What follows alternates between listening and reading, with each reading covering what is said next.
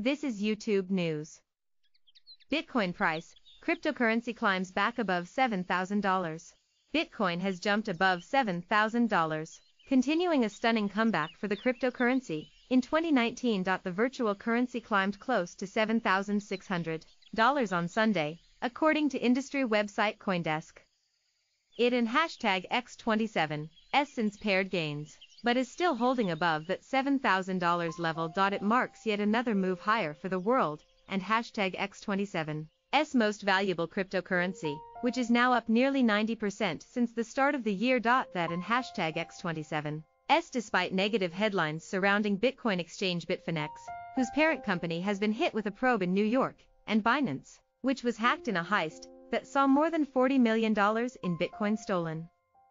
And quote, Bitcoin has been building up momentum, end quote, Mati Greenspan, senior market analyst at social trading firm eToro, told CNBC via telephone.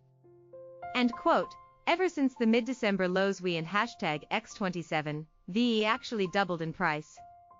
End quote, according to Greenspan, the digital currency could soar as high as in quote, $50,000 or $100,000, end quote, because Bitcoin is still only in quote, in the early part of its cycle, and quote, it in hashtag X27. S worth noting Bitcoin was once worth nearly $20,000 in late December 2017, before a massive slump last year.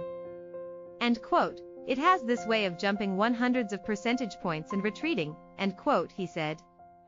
And quote, right now we in hashtag X27, re coming off that huge retracement, and are only seeing a small rise, end quote.